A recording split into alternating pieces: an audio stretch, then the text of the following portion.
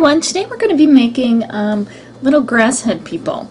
And what you're going to need is an old nylon stocking, a couple Google Eyes, um, an empty container, which this is a yogurt container. You could use um, a yogurt container, which is good to recycle, or you could use like um, a little paper cup would be fine too, as long as it can um, hold the water. Um, some potting soil, a little bit of hot glue, and grass seed.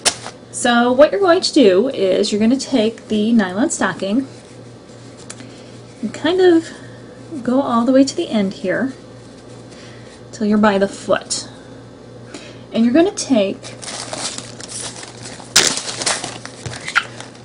two teaspoons of, or I'm sorry, two tablespoons of grass seed and put it right in the stocking. Okay, and you're going to want that to go all the way to the foot. It should be nice, nice shaggy headed little guys. And then you're going to take some potting soil or dirt from the garden. Um, you're going to want to scoop that in there too. Um, and just keep scooping until it's about the size that you want it to be.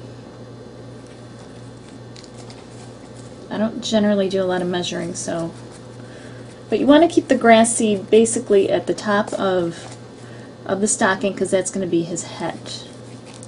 So when you get it filled to be about as much as you want, go ahead and tie it. You want it nice and snug on on the um, on the dirt so he doesn't change shape on you.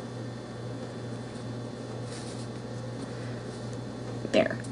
Okay, so then now you have all this grass seed on top and that's where the hair is going to go through.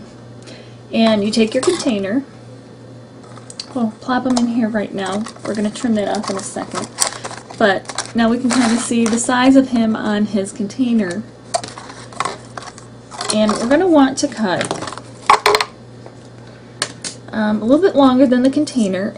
And what's going to happen is we're going to fill the container with water and then the tail of, of your grassy guy is going to fit right in there and then the water is going to wick up the nylon stocking and keep it moist and then eventually the grass seed will start to grow.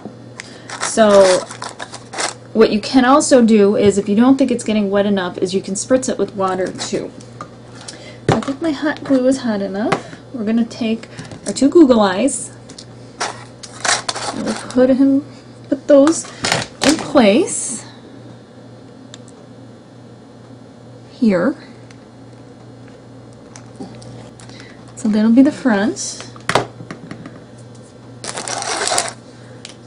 And then we'll just take them and we'll draw a little smiley face right on right on the nylon stock. And now the other things that you can do is you can decorate the the yogurt container or whatever container you have.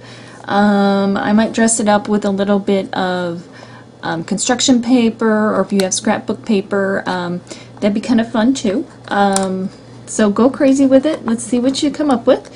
And we'll keep checking back on him to see how he's doing. Now to decorate the um, container, all I did was I took some wrapping paper that I had left over and this is different wrapping paper and I cut it in the shape of a tie. So I'm going to glue that right on there and it's going to look like he has kind of a suit and tie on and I'll do that right now.